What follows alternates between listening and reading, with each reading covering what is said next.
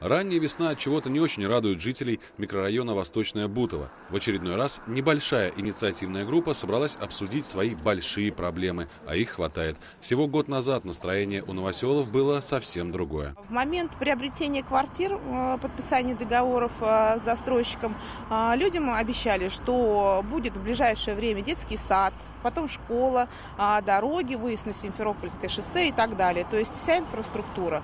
Сейчас уже 2017 год, начало, пока в районе нет абсолютно ничего, только голые дома. Самая главная проблема жителей транспортная. В один не очень прекрасный день они вышли на остановке общественного транспорта, но не смогли дождаться маршруток. Так что эмоции людей можно понять. Нет ни аптек, ни детских садов, ни школ, здесь вообще ничего. Поэтому мы, у нас крайне стоит остро вопрос маршруток. Они нам необходимы, транспорт нам необходим. А его нам постоянно отменяют. Вот не было в этот раз четверг, пятница, суббота, мы были вообще без машин. Мы связались с начальником управления дорожного хозяйства, благоустройства и транспорта Ленинского района Верой Маркиной. Она заверила, что скоро злоключение жителей микрорайона закончится проведен конкурс а, по трем маршрутам, в том числе и Восточная Бутова.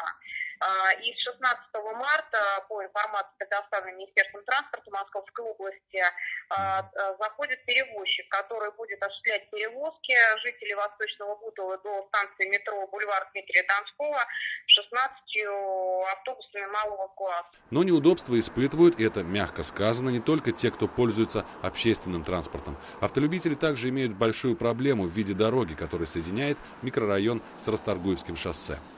Та дорога, по которой мы ездим, она является дорогой временно-технологической. Соответственно, она не по нормам.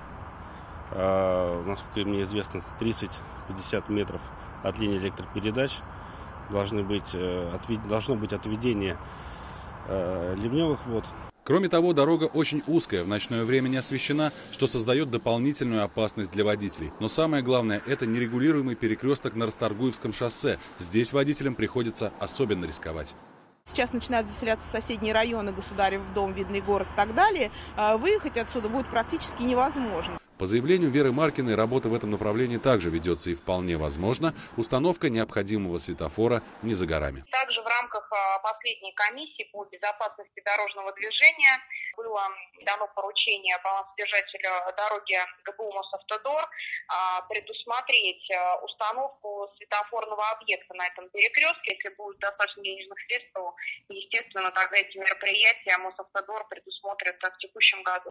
Решением многих проблем стала бы новая дорога, которую по проекту должен проложить застройщик. Но, как и с остальными обещаниями, и это остается несбыточной мечтой, потому что сейчас этот проект только на стадии согласования рядом, э, естественно, находятся земли лесфонда, то, безусловно, застройщику надо для начала урегулировать вот эти все вопросы а, с лесниками, после чего, естественно, уже будет э, осуществляться строительство полноценной дороги. Сотрудникам нашей редакции куда приятнее выезжать на освещение открытия нового детского сада или школы, но пока об этом, применительно к микрорайону Восточная Бутово, мы тоже можем только мечтать.